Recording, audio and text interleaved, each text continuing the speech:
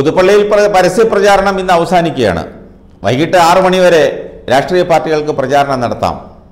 മൂന്ന് മുന്നണികളുടെയും പ്രചാരണങ്ങളുടെ കലാശക്കൊട്ട് ഇന്ന് വൈകിട്ട് പാമ്പാടിയിലാണ്. വൻ ഭൂരിപക്ഷം യു ഡി എഫ് ലക്ഷ്യമിടുമ്പോൾ മണ്ഡലം തിരിച്ചു പിടിക്കാമെന്ന പ്രതീക്ഷയിലാണ് എൽ ഡി എഫ് മുപ്പതിനായിരത്തിന് മുകളിലാണ് കോൺഗ്രസ് ഭൂരിപക്ഷം പ്രതീക്ഷിക്കുന്നത്. ഇടതുപക്ഷം ഇത്തരം കണക്കുകളൊന്നും പറയുന്നില്ലെങ്കിലും അട്ടിമറി വിജയമാണ് ലക്ഷ്യമിടുന്നത്. ബി ജെ പി ആകട്ടെ നില മെച്ചപ്പെടുത്താനും പരിശ്രമിക്കുന്നു. ഇന്ന് വൈകിട്ട് ആറ് മണി കഴിഞ്ഞാൽ നിശബ്ദ പ്രചാരണത്തിന് തുടക്കമാകും. ചൊവ്വാഴ്ച രാവിലെ ഏഴ് മണി മുതൽ വൈകിട്ട് ആറ് മണി വരെയാണ് വോട്ടെടുപ്പ്. ഫലപ്രഖ്യാപനം എട്ടിന് നടക്കും. അതിശക്തമായ പ്രചാരണമാണ് രണ്ട് മുന്നണികളും നടത്തിയത്.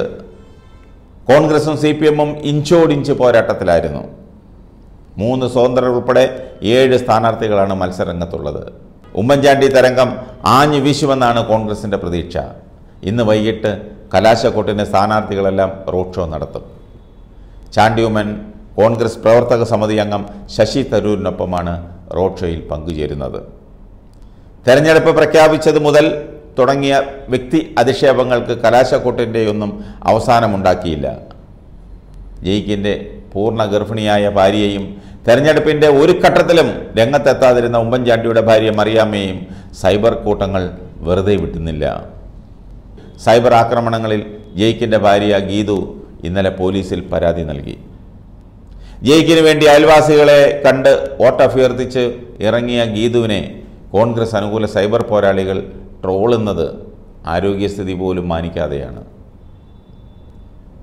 ഉമ്മൻചാണ്ടിയുടെ അവസാന നാളുകളിൽ ചികിത്സയിൽ പിഴവ് വരുത്തിയെന്നും ഉമ്മൻചാണ്ടിക്ക് പ്രിയപ്പെട്ടവരെ പോലും കാണാൻ കുടുംബം അനുവദിച്ചില്ലെന്നും കാട്ടിയുള്ള ഫോൺ സംഭാഷണം കഴിഞ്ഞ ദിവസം മുതൽ സോഷ്യൽ മീഡിയയിൽ പ്രചരിക്കുന്നു.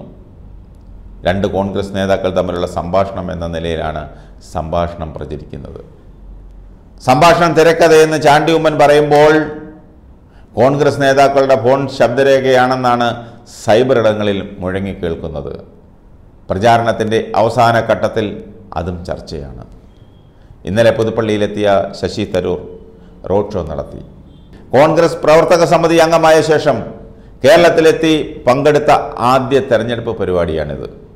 മണർകാട് മുതൽ പാമ്പാടി വരെയായിരുന്നു അദ്ദേഹത്തിന്റെ റോഡ് ഷോ. ഇതിനു മുൻപ് പുതുപ്പള്ളി പള്ളിയിലെത്തി ഉമ്മൻചാണ്ടിയുടെ കല്ലറയിൽ മെഴുകുതിരി കത്തിച്ചു. മണർകാട് നിന്ന് ആരംഭിച്ച റോഡ് ഷോയിൽ നൂറോളം വാഹനങ്ങൾ അകമ്പടിയുണ്ടായിരുന്നു. തുറന്ന വാഹനത്തിലായിരുന്നു റോഡ് ഷോ. ഈ റോഡ് ഷോ പാമ്പാടിയിലേക്ക് അടുത്തപ്പോൾ സ്ഥാനാർത്ഥിയായ ചാണ്ടിയുമ്മനുമെത്തി. തുടർന്ന് ഇരുവരും ചേർന്നാണ് റോഡ് ഷോ പൂർത്തിയാക്കിയത്. ചാണ്ടിയുമ്മന്റെ കൈപിടിച്ച് പാമ്പാടിയിലെ പൊതുസമ്മേളന വേദിയിലേക്കെത്തിയ ശശി തരൂരിനെ ആവേശത്തോടെയാണ് പ്രവർത്തകർ സ്വീകരിച്ചത്.